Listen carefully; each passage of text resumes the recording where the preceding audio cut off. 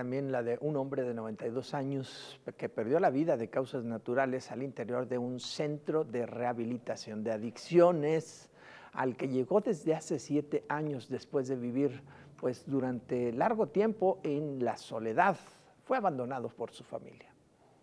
Tras varios días de agonía, la madrugada de este martes un hombre de 92 años dejó de existir en un centro de rehabilitación de drogas en la colonia Bellavista, a donde llegó hace siete años tras ser abandonado por su familia. Los hechos ocurrieron durante la madrugada, cuando Ramiro Medina Martínez dejó de respirar, alarmando a los encargados de la casa de rescate morir para empezar a vivir, donde desde hace siete años habitaba. El hombre había solicitado su alta voluntaria tras padecer enfermedades crónicas que le daban pocas esperanzas de vida, por lo que se optó por trasladarlo a la casa de rehabilitación buscando darle una muerte digna. Agentes de investigación criminal acudieron a tomar conocimiento y se entrevistaron con los dirigentes de la casa, quienes comentaron que desde el 2015 don Ramiro llegó a solicitar asilo, antes de su muerte, el hombre mencionó no contar con el apoyo de su familia, pues debido a su adicción decidieron abandonarlo en la calle, donde habitó durante varios años, hasta que encontró la casa de rescate. Al no contar con ningún familiar, el cuerpo del hombre fue llevado al servicio médico forense, donde permanecerá bajo resguardo durante varias semanas, esperando que sea reclamado por su familia, y en caso de que no sea así, será sepultado en una fosa común.